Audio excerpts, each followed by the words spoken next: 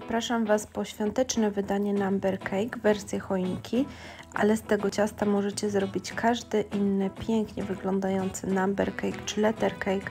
Ciasto świetnie sprawdza się tutaj do takich przełożeń, pięknie się rumieni, a jak to zrobić zobaczycie w filmie. Zapraszam!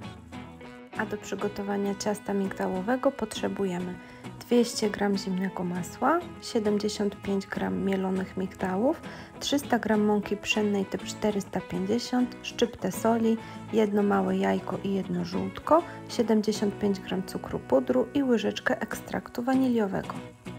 Filmie nie pokazuję jak przygotować kremy do przełożenia, ponieważ ja użyłam gotowych, które zbiegły mi z innych deserów, ale przepis na krem budyniowy znajdziecie w moim filmie na deserki leśny mech oraz na tort szpinakowy. A jako drugiego przełożenia użyłam po prostu kremu na bazie śmietanki mascarpone wymieszanych z cukrem pudrem. Natomiast jeżeli chcecie, żeby Wasze blaty tak szybko nie nasiąkały, polecam użyć właśnie kremu budyniowego. Teraz już zaczynamy od przygotowania ciasta kruchego. Cukier, puder, mąkę, mielone migdały, sól oraz masło wkładamy do misy robota i zaczynamy wyrabiać tak długo, aż uzyskamy konsystencję mokrego piasku.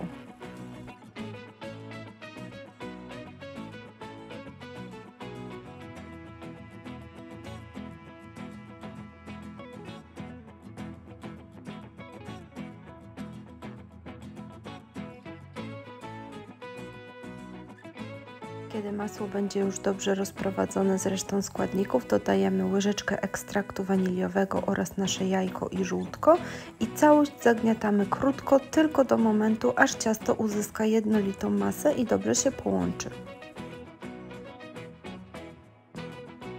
Następnie nasze ciasto dzielimy na dwie równe części i każdą kładziemy na papier do pieczenia. Rozwałkowujemy ją pomiędzy dwoma arkuszami papieru do pieczenia, aby nie przyklejało nam się do wałka i rozwałkowujemy je na grubość około 3-4 mm. Następnie wkładamy do zamrażarki na co najmniej godzinę.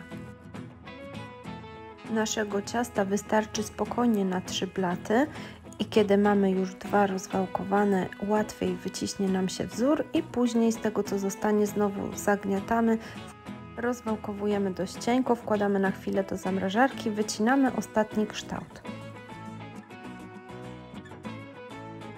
Kiedy nasze ciasto jest mocno schłodzone, łatwo będzie nam wykonywać kształty i wycinać ostre krawędzie.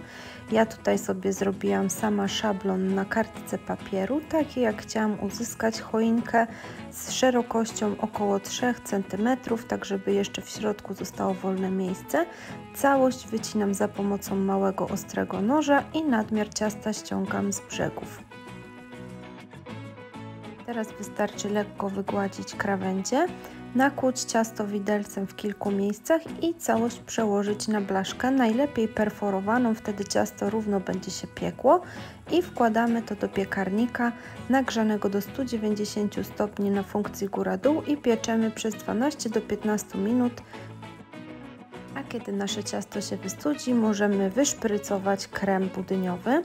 Ja tutaj użyłam tylki Wilton 2A, żeby zrobić takie kółeczka.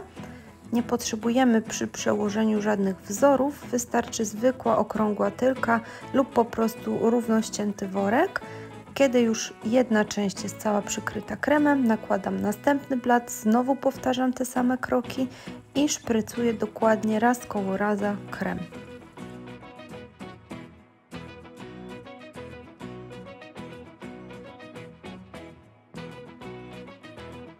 Następnie należy przykryć całość ostatnim blatem. I ja tutaj szprycuję kremem śmietankowym, ponieważ budyniowy już mi się skończył. Używam różnych tylek Wiltona. Jest tutaj dowolność, możemy użyć tylko jednej i wyszprycować wszędzie ten sam wzór. Ja akurat chciałam zobaczyć, jak różne tylki wyglądają, dlatego za każdym razem przekładałam i próbowałam nowe wzorki.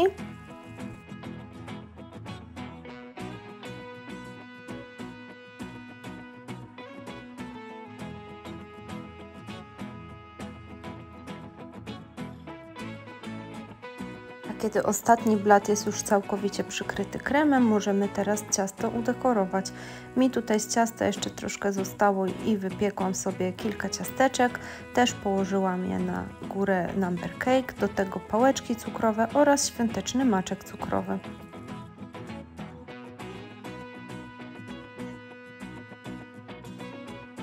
Nasz świąteczny number cake w wersji choinki jest już gotowa.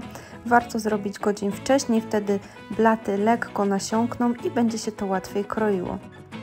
Całość przykrywamy i przechowujemy w lodówce.